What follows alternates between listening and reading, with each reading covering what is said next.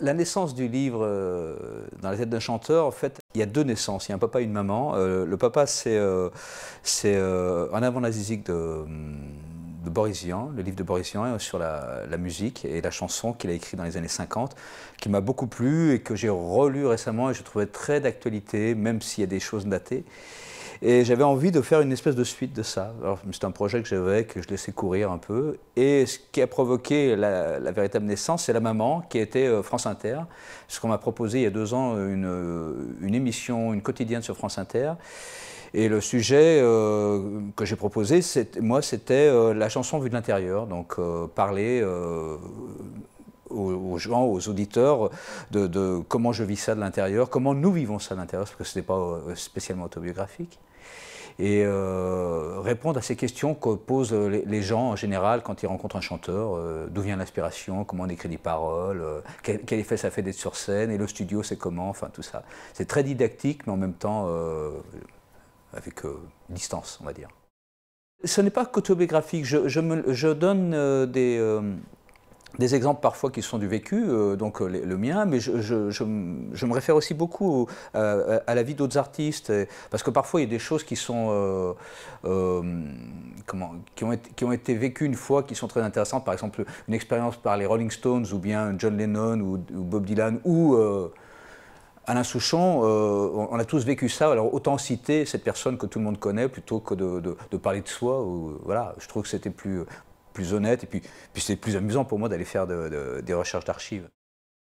Quand on parle de, de, l'inspiration, justement, quand on pose cette question d'où vient l'inspiration, c'est toujours embarrassant parce qu'on euh, a toujours l'impression que les, euh, les chanteurs, enfin du moins les auteurs-compositeurs, euh, partent d'un thème. Ils vont dire tiens, je vais faire une chanson sur la mer qu'on va danser le long des golfes clairs, sur ceci, sur cela, sur mon un amour, tout ça. Mais, parfois c'est souvent accidentel et c'est ça qui est, le plus intéressant.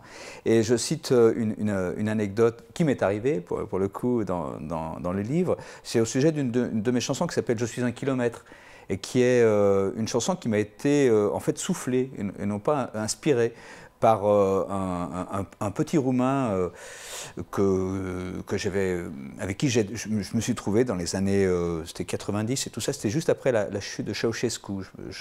J'étais allé visiter, rendre visite à une amie que, que j'avais là-bas depuis longtemps. Et on se promenait dans, la campagne avec des, enfants autour d'elle. Il y avait les siens, il y avait ses, petits-neveux et tout. Et puis pour ces mômes-là, qui étaient, c'était la première fois qu'ils voyaient un, Français, qu'ils entendaient parler français, donc ça les amusait beaucoup. Et je leur donné des mots en français pour qu'ils fassent des phrases avec, comme ça. Donc ils s'amusaient, puis ils revenaient vers moi, puis ils disaient euh, des phrases montées. Je suis un garçon, euh, la forêt est verte, la maison est petite, et tout ça. Et, je, leur, donnais des notes. Et puis, et puis à un moment donné, un, des, des, mômes vient et me dit euh, Je suis un kilomètre.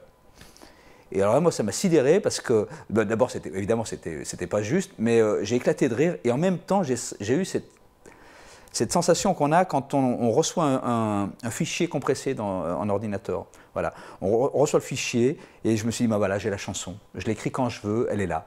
C'est arrivé d'un coup comme ça. Donc l'inspiration, ça peut être ça aussi.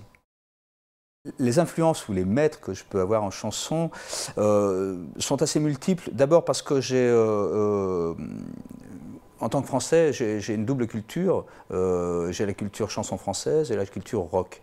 Et euh, j'ai commencé euh, vraiment à, aimer, à vouloir faire des chansons en écoutant du rock. Donc en écoutant du rock, c'était basé sur les chansons anglo-saxonnes avant tout. Et ne sachant pas l'anglais, il a fallu que j'adapte ce que je ressentais de chansons anglo-saxonnes avec des mots français. Alors, euh, les influences musicales, on va dire, viennent d'outre-Atlantique euh, ou outre-Manche. Euh, des, groupes de rock de, mon époque qui, qui s'appelaient Creedence Clearwater Revival ou bien qu'est-ce qu'il pouvait y avoir un peu les Stones, oui effectivement, David Bowie, des gens comme ça. Du côté des Français, par contre, pour ce qui est des, textes, mes, mes maîtres au, début ont été euh, les, gens qui se référaient au, rock aussi, qui, qui, chatouillaient le rock, euh, Gainsbourg, euh, Dutronc ou Nino Ferrer, par exemple, des gens comme ça. Mais j'ai bien aimé aussi même des, des, textes idiots des, premiers groupes de rock des années 60, comme Les Chats Sauvages, Les, Chaussettes Noires. et après, je me suis, je me suis cultivé tout seul, quoi. Et, surtout à force d'écrire des chansons, évidemment, on devient plus exigeant. Donc on change aussi peut-être de maître, de monture. Aujourd'hui, je ne sais pas si j'en ai encore. Franchement, la, chanson aujourd'hui, elle est, ni meilleure ni, pire qu'avant. Il y, a énormément de, de productions, énormément de chanteurs, de groupes, il y en a trop. Mais c'est partout. Pour les romans, c'est la même chose. C'est un vrai problème, en fait. Multiplier la production ne multiplie pas le talent non plus. Voilà, donc, euh, si on est euh, exigeant, on, a, on, a, du mal à trouver le, talent parce qu'il y a trop de monde, mais euh, il n'est il est, il est pas, pas multiplié. Alors aujourd'hui, moi je trouve ça bien, franchement, quand on dit c'était mieux avant, c'est une nostalgie à la con parce que je peux citer des chansons totalement tartes, des, des, des chanteurs tartes des années, des années précédentes. voilà quoi. Mais je trouve, justement, ce que je trouve intéressant aujourd'hui, c'est euh, cette espèce de mélange qu'il y a euh, à, cause ou grâce à Internet. Euh, les, jeunes ont une culture énorme. Et ils mélangent tout. Ils mixent tout. Quoi. Et, ça, donne des choses. Ça, va aboutir sur quelque chose de vachement intéressant. Même si on ne s'intéresse pas à la poésie, mais qu'on aime écrire des chansons, il y a toujours un moment où on, va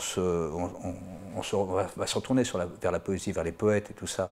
En général, on se, retourne euh, vers la, poésie, non pas contemporaine, on se retourne à la poésie rimée, puisque c'est le lien avec la chanson.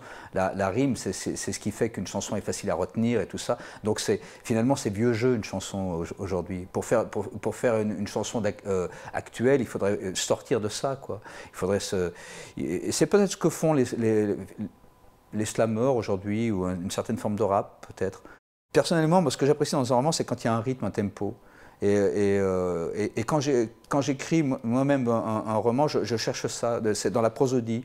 Dans, il, faut retrouver cette, impression de, Quand il y a une mélancolie, il faut retrouver cette impression de dune, de, de, de vagues lentes et tout ça. Et puis quand, il y a une action de, rocher, d'arête et tout, c'est quelque chose que je recherche dans, la chanson et que je recherche aussi dans, un roman. un roman réussi pour moi, pas seulement ceux, que je cherche à écrire, mais ceux que je lis, c'est quand, quand je ressens ça. quoi je ressens ça. Et c'est d'où l'importance, de, je pense aussi de la ponctuation et, euh, du style. Voilà, euh, un bon roman, c'est aussi une affaire de style. Pour moi, le, théâtre de la cruauté d'Artaud, c'est les, euh, les, prémices du, punk deux ans après, j'allais monter un, groupe de rock qui allait être catalogué punk, et, pour moi, c'était le théâtre de la cruauté. Voilà, Alors ça fait un peu un télo de citer ça, mais euh, franchement, à l'époque, c'était cohérent pour moi, et ça la reste encore. Après, mes maîtres en littérature, euh, j'ai été évidemment Boris Vian, qui, est incontournable parce qu'il c'est un auteur ludique pour un, adolescent, et donc c'était une porte, une ouverture sur la, grande littérature après. Euh, il y a eu quand même dans, le, polar, ça a beaucoup compté, c'était Léo Mallet. Léo Mallet, euh, qui m'a influencé au point que j'écrive des chansons façon polar à cause de lui. Euh, Maupassant, je suis tombé amoureux de Maupassant très tôt et j'ai tout lu, j'ai dévoré Maupassant. Récemment, j'ai dévoré toute l'œuvre d'André Makin une amie m'avait offert euh, un livre, euh, La femme qui attend. J'ai trouvé ça formidable, j'ai tout lu. Voilà, j'ai tout lu. Maintenant, je m'intéresse, euh, encore une fois, de ces histoires de style.